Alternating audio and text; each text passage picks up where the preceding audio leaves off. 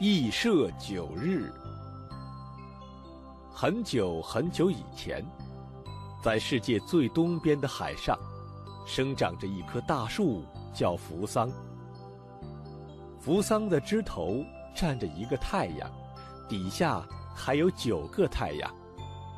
每天天快亮时，扶桑枝头的太阳就坐上两轮车，开始从东往西穿过天空。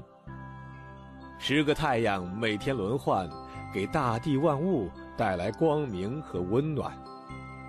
可是，有一天，这十个太阳觉得轮流值日太没意思了，于是，他们一起跑了出来，出现在天空中。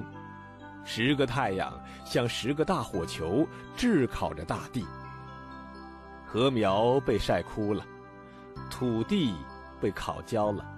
江河里的水快要蒸干了，连地上的沙石好像都要融化了。人类的日子非常艰难。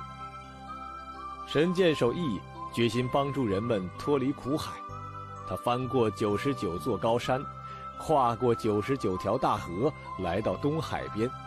他登上一座大山，搭上神箭，拉开神弓，对准天上的一个太阳。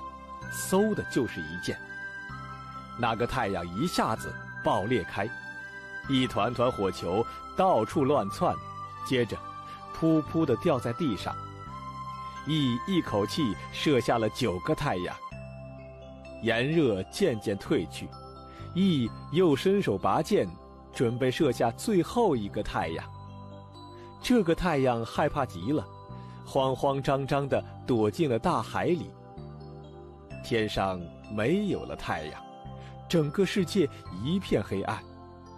一想，没有了太阳，就没有了光明和温暖，庄稼不能生长，人类和动物也没法活下去。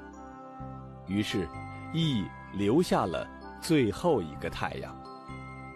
从此，太阳每天从东方升起，到西方落下。土地渐渐滋润起来，花草树木渐渐繁茂起来，江河奔腾欢畅，大地上重新现出了勃勃生机。